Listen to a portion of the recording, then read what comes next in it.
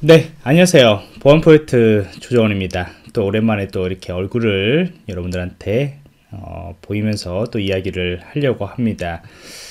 어, 오늘 이제 외부 강의 활동은 거의 이제 어, 끝났습니다. 어, 이제 중앙대학교 강의, 대학교 강의만 좀 남아 있고요. 어, 외부의 이제 특강이나 아니면 이제 정규 과목은 모두 다 이번 연도는 다 끝난 것 같습니다. 어, 이번 연도는 좀 열심히 달린 것 같습니다. 이제 사업을 좀 기반을 잡기 위해서 여러 가지 프로젝트도 하고 여러 사업들도 하고 그 사업 중에서 이제 저희가 고등학교 학생들을 가르치는 그 사업을 좀 맡아서 했어요. 어, 사이버 가디언스라는 요 사업인데 어, 전국에서 이제 여섯 개 특성하고 여섯 개 학교를 이제 선정을 해서 약 한 400시간에서 500시간 정도 예, 그 정도의 규모를 이제 가르치는 어, 그런 프로그램입니다. 예, 굉장히 긴 시간이죠. 어떻게 보면요. 예, 긴 시간이어서 이것들을 이제 뭐 방과후 수업에 이렇게 3, 4시간씩 계속 몇 달 동안 하기도 하고요. 그 다음에 이제 주말에 6시간씩 해서 또 이것도 이렇게 몇 달 동안 이렇게 진행을 합니다. 네, 그 안에 이제 뭐 그거 외에도 어떤 멘토링 어, 그런 강의도 있고 그 다음에 이제 대학생들이 와서 또 이렇게 강의를 하는 그런 프로그램도 있고 고등학교 강의를 이렇게 사업을 한 2년 동안 맡아서 하니까 이쪽도 교육이 상당히 많더라고요. 규모도 상당히 크고요. 물론 이제 일반인들 그룹 일반인들 이제 어, 재직자 대상으로 하는 강의나 그보다는 규모가 조금 어, 작을 수도 있겠지만은 그래도 예, 만만치 않은 그런 강의였었습니다. 그래서 어, 그 강의를 맡으면서 저희들도 성장을 많이 했고요. 어, 그래서 이제 마지막으로 보통 이제 진로 특강을 강의를 많이 갑니다. 그래서 이번 달에 약 한 다섯 개 학교에서 이제 진로 특강 강의가 왔어요. 어, 두 곳은 이제 대학교고 이제 세 곳은 아까처럼 이제 특성화고에서 이제 진로 특강을 진행해 왔습니다. 그래서 오늘 그게 이제 제일 마무리를 예, 마지막 강의를 하게 된 것이죠. 어, 특성화고를 가니까 이제 질문을 받다 보면은 이제 저는 이제 진로 교육을 할 때 특히 이제 모이해킹 쪽이나 이제 치매 대응 쪽으로 많은 이야기를 합니다. 그쪽이 제 어, 직업이었었기 때문에 그쪽으로 많은 경험들을 이야기를 하게 되는 거고요. 또 부가적으로 각 이제 업체들에 대한 정보들, 그 다음에 어, IT 보안 업계로 오기 위해서 어떤 것들이 이제 필요한가 그런 것들을 좀 이제 이야기를 많이 하게 되는 것이죠. 어, 근데 이제 이 특성화고 학생들이 제일 궁금해하는 것이 있죠. 왜냐면 이거는 이제 학위하고 관련된 거죠. 이제 학위. 왜 그러냐면 특성화고 학생들은 두 가지가 있죠. 바로 취업을 가는 학생들도 상당히 많고요. 물론 이제 취업을 한다고 해서 모두 다 IT 보안이라서 IT 보안 쪽으로 가는 것은 아니고 개발자로도 갈 수가 있는 것이고요. 아니면 산업 디자인 쪽으로 갈 수가 있는 것이고요. 기타 이제 행정 쪽으로 갈 수 있는 것이고요. 여러 가지 이제 업종으로 가게 되는 것인데 이 IT 보안 쪽에 특히 이제 뭐 해킹 대회 그거를 이게 그 가디언스 사이버 가디언스가 중간중간 이제 해킹 대회를 하게 되거든요 자체적으로요. 근데 이거를 이제 해킹 대회를 평소에 많이 참여했던 친구들은 이제 해킹이라는 모의 해킹 쪽이나 아니면 이제 침해 사고 대응 쪽 예, 이제 서트 쪽 예, 그쪽으로 이제 고민을 하게 되는 겁니다. 예, 그러다 보니까 이제 고민이 되는 것은 내가 정말 IT 보안 직종 그러한 기술적인 보안 직종으로 갈 때 정말 이제 학위가 어, 필요하냐, 이게 학사가 필요하냐, 이거를 많이 묻는 거죠. 어, 바로 이제 취업을 하는 친구들 같은 경우에는 이제 학위를 그 회사에서 이 학사는 그런 학위에 상관없이 이제 바로 취업을 받는 그런 어, 직종일 수도 있는 부분들이고요. 여러 가지 이제 경우에 따라 틀리겠지만은 사실 거의 대부분의 이제 컨설팅 특히 이제 모이에킹 컨설팅 같은 경우나 아니면은 기술적인 어떤 관리적인 컨설턴트나 아니면은 이제 뭐 서트 쪽 치매 대응 쪽으로 어떤 상주 개념의 치매 대응 쪽으로 간다거나 어 기타 여러 가지 했을 때 이제 걸리는 것이 당연히 이제 학사가 이제 걸리게 되는 거죠.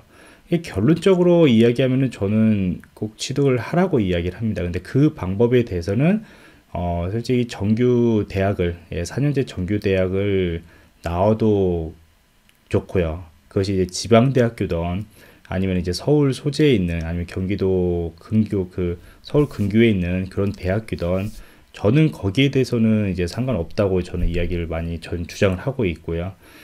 어, 이 정규 대학교 4년제 말고 그 다음에 학점은행들 뭐 독학사를 많이 하잖아요. 그래서 요즘은요. 그래서 그 독학사 독학사를 하는 거에 대해서 그래서 학사로 인정을 받는 학점은행으로서 인정을 받는 거에 대해서는 저는 뭐 그렇게 어, 많은 것들에 대해서는 어, 반대를 하지는 않습니다. 근데 이제 중요한 것은 그것을 취득은 하라라고 저는 이야기를 하게 되는 거죠.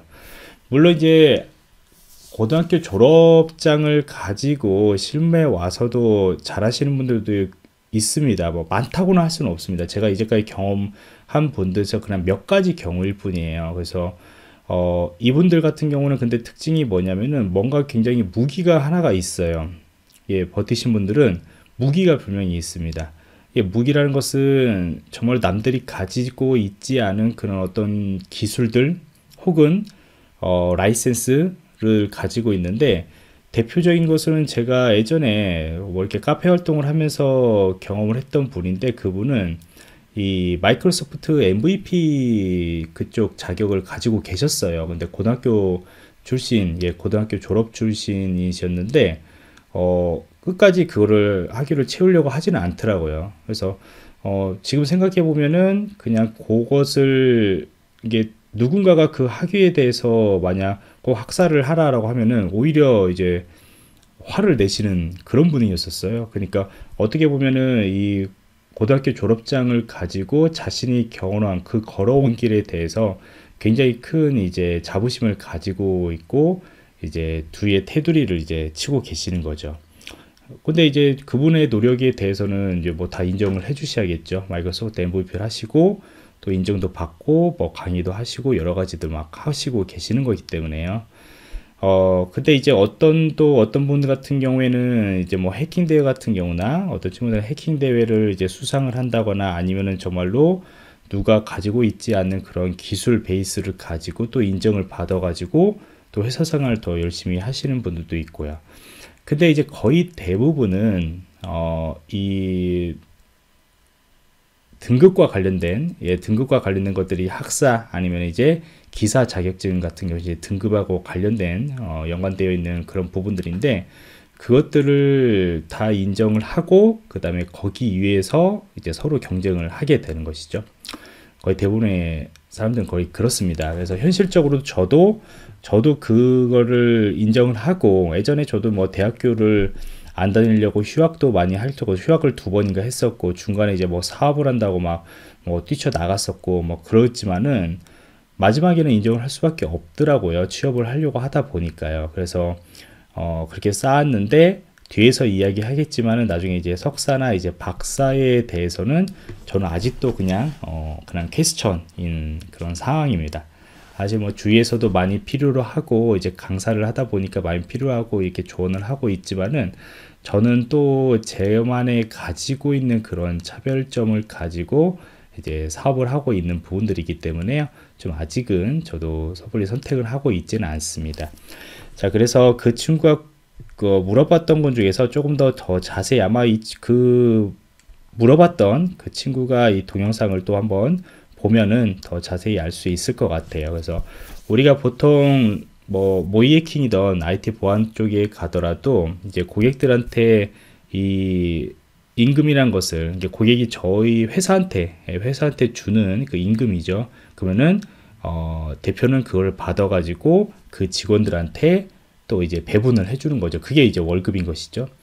그래서 요거를 이제 평균 임금이란 것이 이제 공표가 되어 있는데 2018년도 것도 아마 있을 겁니다. 예, 있을 건데 어차피 차이는 그렇게 크지는 않아요. 그래서 각 매년마다 이제 소프트웨어 기술자 평균 임금이라는 것이 이렇게 공표가 됩니다. 물론 이거를 100%다 지켜라 뭐 그러지는 않겠지만 분명히 이것도 법에 의해서 예, 법에 의해서 최소한의 요거는 분명히 노인 단가에 대해서 기준을 가지고 있다 라고 있는 부분들이기 때문에요. 요거를 이제 우리가 기준을 가지고 정하게 되는 거죠. 여기에서 이제 업체에서는 이제 고객들한테 더 플러스 몇 프로를 더 상승으로 해서 아 이거는 보안 쪽에서는 이렇게 제안을 합니다. 이런 등급들은 이렇게 실력이 있기 때문에 이렇게 제안을 합니다. 요거에 대해서는 이제 제안서에 이제 기재를 하게 되는 거고 그게 고객이 그거를 받아들이면은 그 단가 더 높은 단가로 이제 투입이 되는 것이죠. 그러면 이제 뭐 월급도 더 줄 수 있는 부분들이고요. 그런데 여기에 이제 조건들이 있죠. 이게 고객 입장에서는 최대한 이런 조건들, 현재 평균 임금을 정하기 위한 이 소프트웨어 기술자 분류 기준을 가지고 그 인력을 판단을 할 수밖에 없습니다. 그랬더니 그 기술자가 만약 내가 중급이야. 근데 그 중급인데 요거를 증명을 해야 하잖아요. 그러면 이제 증명을 할 때는 여기에 나와 있는 기준으로 이 중급자가 정말로 여기에 기준이 되고 있는가 그렇기 때문에 이제 제한, 제안을 했던 업체에서는 이 정도 가격을 임금을 받으려고 하는구나 라는 것들을 이 기준을 가지고 이제 하기 때문에 어, 당연히 이제 업체의 입장에서는 컨설팅 업체의 입장에서는 요것을 기준으로 만족하는 사람들을 먼저 뽑을 수밖에 없는 입장이죠. 아니면은 이제 어 실제 프로젝트에 들어갈 수가 없기 때문에 프로젝트에 이게 제한을 넣을 수 없으면은 일을 못 시키는 것이고요. 일을 못 시키면 당연히 이제 월급에 대한 것들 부분들도 못 주는 것은 아니고 예, 계속 이제 적자를 내면서 갈 수밖에 없는 거죠. 그 친구에 대해서는요. 그러니까 당연히 이제 부담스러운 거죠. 리스크가 있는 거죠. 그래서 여기에 보면은 이제 기능사 위쪽에 보면은 이제 기술사, 초급 기술자가 이제 기사 자격증을 취득한 자, 그 다음에 전문 학사 이상의 학위를 가진 자, 이렇게 써 있는 것이죠. 전문의사, 그 다음에 아니면 혹은 고등학교를 졸업하고 난 뒤에 경력이 3년 이상 정도가 쌓이고 있는 자에 대해서 초급 기술자 등급을 받게 됩니다. 거의 대부분 여기 안에서 컨설팅 인원들은 여기 안에서 이제 진행이 하게 되는 것이죠. 그러니까 보통 이제 기사 자격증 같은 경우 지금 이것도 이제 산업기사 자격증이나 그런 것들도 전문학사 이상을 가지고 있어야만이 저희들이 이제 취득할 수 있는 조건들이기 때문에 이렇게 제시를 하고 있습니다. 그 다음에 이제 중국 기술자로 가면은 이제 석사학위를 따고 난 뒤에 그렇죠. 예, 기사 자격증이나 취득하고 난 뒤에 3년 이상의 경력을 가지고 있거나 아니면 기사 자격증을 따고 난 뒤에 석사학위 연회 정도에 가지고 있거나 혹은 산업기사를 따고 난 뒤에 7년 이상이 가지고 있어요. 자, 여기서 조금 차이가 나는 거죠, 지금요. 차이가 좀 나죠. 그러니까 여기 같은 경우는 예전에는 제가 알기로는 이제 음 모르겠어요 이게 변화가 됐나요? 우리가 보통 보안 쪽에서는 기사 자격증 아니면 학사 이상의 학위를 가진 자로 이제 초급 기술자로 이렇게 선정을 했었어요. 근데 오늘 저 보니까 산업기사적으로 다 있는데 이 중국 기술자 같은 경우에 들어갈 때는 여기서 좀 차이가 나죠. 현재 기사 자격증은 3년 이상이고 산업기사 같은 경우는 7년 이상이에요. 이게 갭 차이가 지금 내기 나기 시작하는 것이죠. 초급 기술자는 간다고 하더라도 똑같이 간다고 하더라도 여기서 이제 차이가 나기 시작합니다. 그러면 이제 나중에 프로젝트 할 때 요 지금 현재 인원은 중급으로 들어가야만이 회사에서도 더 많은 돈을 받는 것이고 그 다음에 더 매출이 발생을 시키는데 넣을 수가 없는 거죠. 똑같은 경력인데 어떤 친구 같은 경우에는 초급으로 계속 받아야 하는 것이고 어떤 친구 같은 경우는 중급으로 받아야 하는 것이고 근데 이제 그 인원들 입장에서는 똑같이 3년의 경력들을 가지고 있는데 이제 연봉이 다른 거죠. 당연히 고객 쪽에서 이 인원에 대해서 주는 것들이 다른데 연봉이 같을 수는 없는 거잖아요. 그러면 이제 이 인원이 누군가는 이제 나갈 수 서로 이제 비교하고 되는 것이고 그 아래 있던 그 인원 같은 경우에는 나가게 되는 것이고요.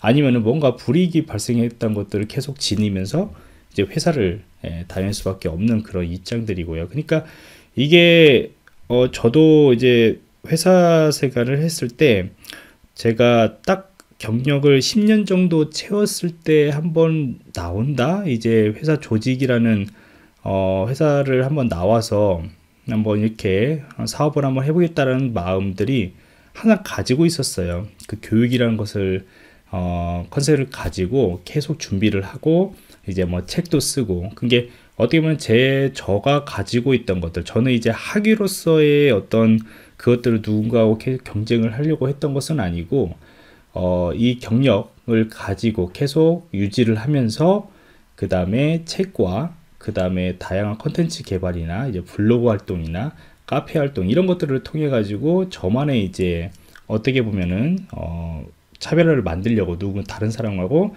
차별화를 만들려고 이렇게 노력을 했었죠. 어, 10년이란 것을 채우려고 했던 이유는 뭐냐면 바로 여기에 있었어요. 왜 그러냐면은 중국 기술자, 현재 초급 기술자에서 가는데 3년, 여기까지 가는데 3년, 특급 기술자까지 가는데 3년. 그러면 거의 이제 10년 정도, 아니면 그저 조금 한 12, 3년 정도 정도에 가면은 이제 특급 기술자가 되는 것이고요. 저는 이제 프리랜서로 많이 뛰어가지고 뭔가 모이에킹에 대해서 PM으로 들어간다. 그러면은 특급 기술자의 단가를 이제 받게 되는 거, 더 많이 이제 받게 되는 거죠. 굉장히 큽니다. 갭이요. 생각보다 커요. 특급 기술자하고 또 고급 기술자, 중급 기술자하고는 커요. 업무는 분명히 같이 하는 거죠. 근데 이제 PM급하고 PL급이냐, 뭐 그런 것들 차이가 나면서 이제 당연히 경력에 대해서 인정을 해주게 되는 것이죠. 그리고 이제 강의를 할 때도 강사를 할 때도 보통 10년 이상이냐 아니냐라는 것들도 상당히 커요. 시간당 이 강의비라는 걸 측정을 할 때 이 강사들도 이제 측정을 하는 그 기준들이 있습니다.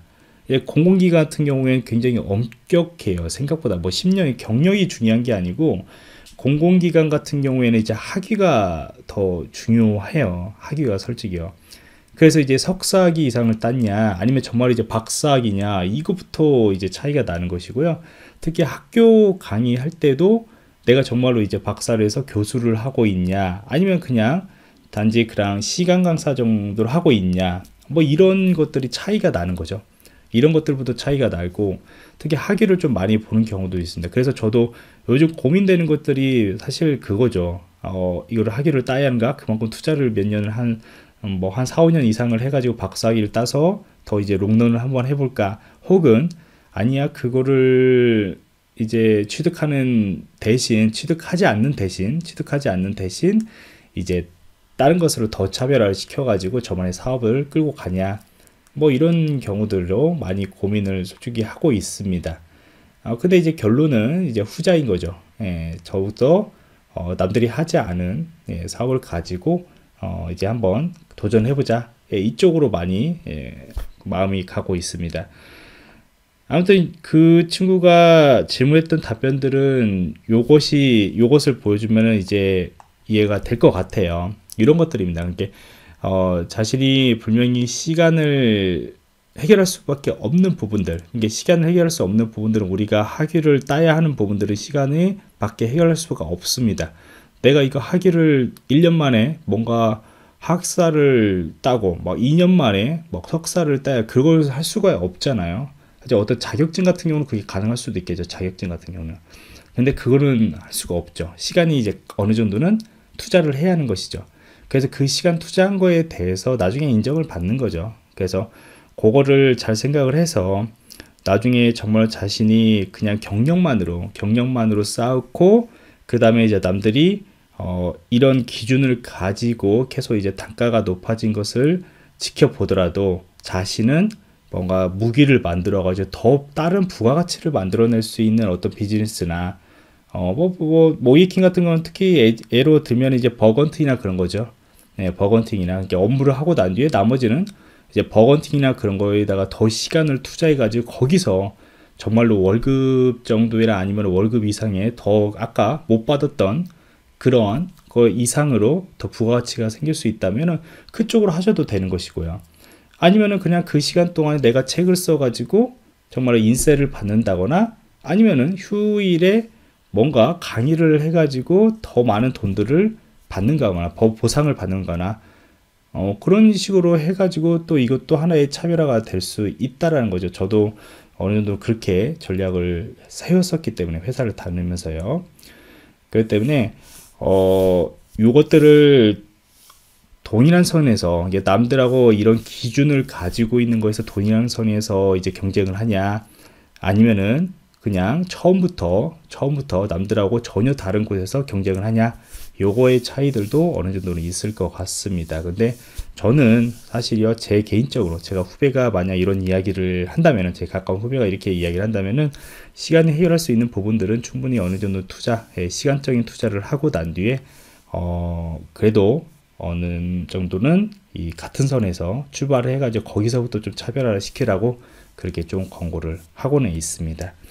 그래서 여기서 이렇게 어, 오늘 어, 이거는 얼굴을 보면서 이렇게 이야기하는 것이 더 좋죠. 예, 얼굴을 보면서 이야기를 하는 부분들이 좋기 때문에 제가 이렇게 긴 시간 동안 여러분들하고 좀 한번 이야기를 해봤습니다.